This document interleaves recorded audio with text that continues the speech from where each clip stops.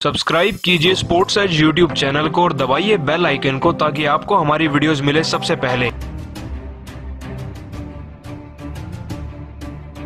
दोस्तों, अगर आप भी भारतीय टीम की जीत से खुश हैं तो वीडियो को लाइक करना नहीं भूलिएगा। दोस्तों, भारत और वेस्टइंडीज की टीम के बीच में चल रही तीन मैचों की ओडीआई सीरीज़ आखिरकार भारतीय टीम की जीत के साथ खत्म हो चुकी है। आपको बता दें कि भारतीय टीम ने इस सीरीज़ को दो शून्य और क्लीन स्वीप से जीता है। पहला मुकाबला तो इस सीरीज़ का बारिश के कारण रद्द हो गया था, लेकिन फिर अगले दो मुकाबले भारतीय टीम ने अपने बेहतरीन प्रदर्शन के बलबूते पर जीत लिए। अब अगर खास तौर पर बात करी जाए सीरीज़ के तीसरे ओडीआई मुकाबले की तो आपको बता दें कि सबसे पहले तो इस मुकाबले में टॉस जीत जीतकर वेस्ट इंडीज की टीम का फैसला यह था कि वह पहले बल्लेबाजी करेंगे। बल्लेबाजी में वेस्ट इंडीज की टीम की शुरुआत बेहद ही जोरदार रही। ओपनिंग जोड़ी के बल्लेबाज क्रिस गेल से लेकर इवन ल्यूस ने भी बड़े बड़े शॉट्स लगाने शुरू कर दिए थे। टीम का स्कोर डेढ़ के पार गया ही था की मैदान में बारिश आ गई। इसके बाद एक के बाद एक विकेट गिरते हुए चले गए क्यूँकी भारतीय टीम के गेंदबाजों ने मुकाबले में अपनी पकड़ बना ली थी। कुल मिलाकर वेस्ट इंडीज की टीम सात विकेट गवाकर 240 रन बना पाई। अब भारतीय टीम के सामने डीएलएस मेथड के तहत 241 रन बनाने का लक्ष्य भी था। लक्ष्य बिल्कुल भी आसान नहीं था। साथ ही शुरुआती दौर से ही भारतीय टीम के बड़े विकेट्स, जैसे कि शिखर धवन, ऋषभ पंत और रोहित शर्मा तक काफ़ी कम स्कोर पर आउट हो गए थे। ऐसे में बल्लेबाजी का सारा दारोमदार आ गया कप्तान विराट कोहली और श्रेयस अय्यर के कंधों पर और दोनों ही खिलाड़ियों ने बखूबी अपनी जिम्मेदारियों को निभाया। लगभग अंत तक दोनों ही खिलाड़ी क्रीज पर रहे और अपनी टीम को जिताकर ही वापस लौटे। विराट कोहली ने तो मैदान में शतक तक जड़ दिया, जिसकी वजह से भारतीय टीम को जीतने में आसानी हुई। कुल मिलाकर दोस्तों, भारतीय टीम इस सीरीज़ की विजेता बन चुकी है। और दोस्तों, जैसा की हम सभी जानते हैं कि भारतीय टीम ने तीसरे ओडीआई मुकाबले को छह विकेट के बड़े अंतर से जीतकर अब इस सीरीज़ को ही अपने नाम कर लिया है। इस सीरीज़ का यह अंतिम मुकाबला वाकई में काफ़ी ज़्यादा रोमांचक रहा। एक समय पर जब भारतीय क्रिकेट टीम हार रही थी, तब विराट कोहली ने श्रेयस अय्यर के साथ मिलकर न सिर्फ़ अपनी टीम को जिताया, बल्कि यह भी बता दिया कि मुश्किल समय में भी भारतीय क्रिकेट टीम के बल्लेबाज अच्छा प्रदर्शन करना जानते हैं। खैर दोस्तों, भारतीय टीम ने ओडीआई सीरीज़ को जीत लिया जिसका सारा श्रेय फ़िलहाल तो श्रेयस अय्यर को दिया जा रहा है। लेकिन भारतीय टीम की इस विशाल जीत के बाद कप्तान विराट कोहली ने सबका दिल भी जीता। ऐसा कोई खिलाड़ी नहीं रहा होगा विराट कोहली की स्पीच में, जिसकी उन्होंने तारीफ़ न करी हो। साथ ही उन्होंने रोहित शर्मा को लेकर भी कुछ ऐसी खास बातें कही की उन्होंने करोड़ों भारतीयों का दिल जीता है। आपको बता दें की मैच के बाद हुई प्रेस कॉन्फ्रेंस में जब विराट कोहली को मैन ऑफ़ द मैच व प्लेयर ऑफ़ द सीरीज़ के अवार्ड ऐसी नवाजा गया तो उन्होंने बातचीत करते हुए कहा कि वेस्टइंडीज की टीम के खिलाफ ओडीआई सीरीज़ में हमारी जीत काफ़ी ज़्यादा मायने रखती है। वर्ल्ड कप 2019 में हारने के बाद यह जीत हमारी नई शुरुआत की एक शुरुआत है। सभी खिलाड़ियों ने इस सीरीज़ के लिए काफ़ी ज़्यादा मेहनत करी थी और जिन खिलाड़ियों को मौका मिला है, जैसे कि श्रेय सैयर, नवदीप सैनी व खलील अहमद खिलाड़ियों ने तो इस मौके को पूरी तरीके से भुनाया और अपनी टीम के लिए सौ प्रतिशत प्रदर्शन करके दिखाया। सभी खिलाड़ियों के प्रदर्शन से बेहद ही खुश हूँ और आशा करता हूँ की भविष्य में भी मौका मिलने पर सभी अपने देश के लिए ऐसा प्रदर्शन कर पाए। साथ ही हमारी टीम के उप कप्तान रोहित शर्मा ने टी सीरीज़ से लेकर वनडे सीरीज़ में अपनी ज़िम्मेदारी को खूब निभाया। भले इन्होंने कम रन बनाए हो, लेकिन फील्डिंग सेट करने से लेकर सभी खिलाड़ियों को मोटिवेट करने तक रोहित शर्मा हमेशा साथ थे। मुझे पूरा यकीन है कि हमारी टीम के युवा खिलाड़ी उनके साथ रहकर भी काफ़ी कुछ सीखे होंगे। और अंत में मैं यही कहना चाहूँगा कि इस ओडीआई सीरीज़ में क्लीन स्वीप से जीत, ये हमारी पूरी टीम की जीत है। हर एक उस खिलाड़ी की जीत है जिसने यहाँ तक पहुँचने तक कड़ी मेहनत करी। कुछ खिलाड़ियों ने रन नहीं बनाए, लेकिन ऐसा नहीं की वह आगे चलकर रन नहीं बना पाएँगे। मुझे पूरे यकीन है की सब अपनी जगह आगे चलकर ऐसे ही प्रदर्शन करेंगे। दोस्तों, विराट कोहली ने जितने शांत स्वभाव से सबकी तारीफ़ करी, उसके बाद उनकी भी तारीफ़ हर जगह की जा रही है। भले ही विराट कोहली फ़ील्ड पर थोड़े अग्रेसिव दिखते हो, लेकिन जिस तरीके से उन्होंने सबकी तारीफ़ करी वह सही में दिल जीतने वाला है। और खास तौर पर रोहित शर्मा के लिए विराट कोहली की यह बातें कहना तो काफ़ी ज़्यादा मायने रखता है। लेकिन दोस्तों, आप सभी को क्या लगता है? विराट कोहली व रोहित शर्मा में से कौन एक बेहतरीन खिलाड़ी है? इस बात का जवाब कमेंट सेक्शन में ज़रूर दीजिएगा। और ऐसी सभी ताज़ा खबरों के लिए अभी सब्सक्राइब कीजिए हमारे चैनल को। धन्यवाद।